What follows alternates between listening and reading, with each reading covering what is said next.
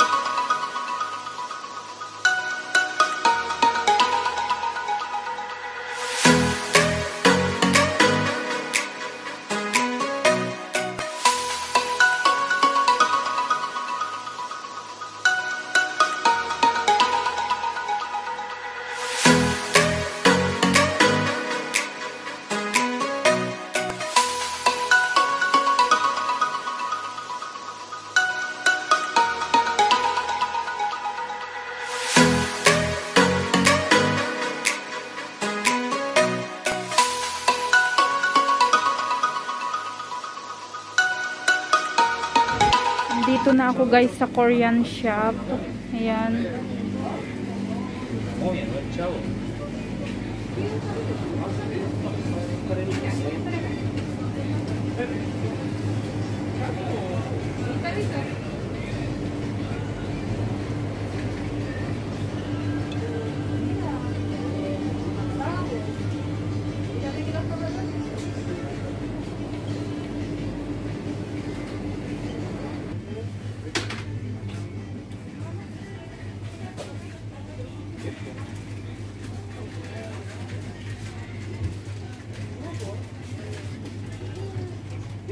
Ito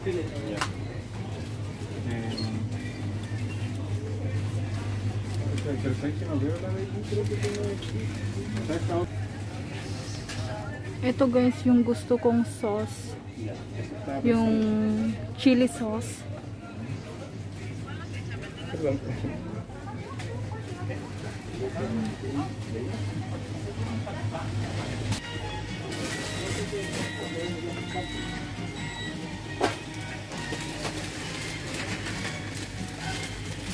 por agora.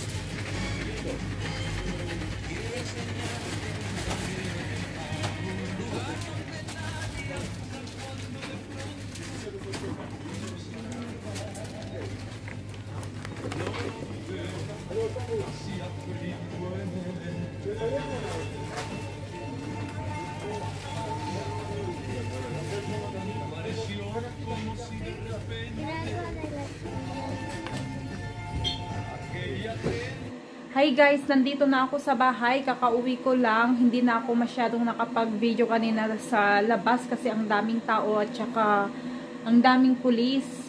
So, parang nakakahiya naman na nagbi-video ako. Baka sabihin ng pulis na binibidyohan ko sila. So, hindi na ako nakapag hindi na ako nag-video doon.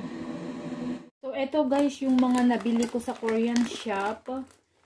Yung red guava, juice beverage, Tsaka bumili din ako ng mango juice, mango flavor. Tsaka bumili din ako ng noodles, spicy flavor. Tsaka ito rin guys yung nabili ko, dried red chili. So, very spicy siya.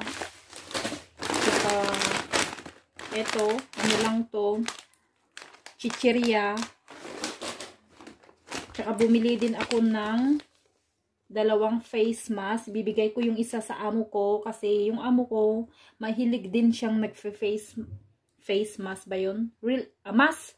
Sorry. Mask, yes. Essence mask pack. So, cucumber. So, bigay ko yung isa sa amo ko kasi lagi din niya akong binibigyan ng ganito yung face mask. Face mask. Yun.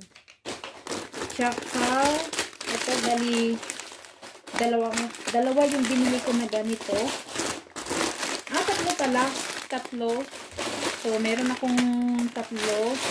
Ito yung porotos garbanzos. Tsaka ano ito.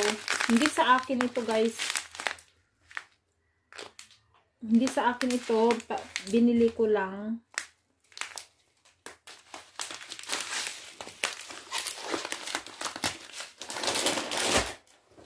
Tsaka ito guys yung si sriracha hot chili sauce. Ito yung pinaka-favorite ko na chili sauce. Maanghang siya. Tsaka ang sarap. Basta ang sarap yung spiciness niya. Ito. So, yun lang guys. Yung nabili ko. So, yun lang guys. Tsaka kita lang kami ng kumari ko. Kasi kinuha ko yung order ko na Filipino food sa kanya. Tsaka bumili din lang kami ng meat. So, yun lang.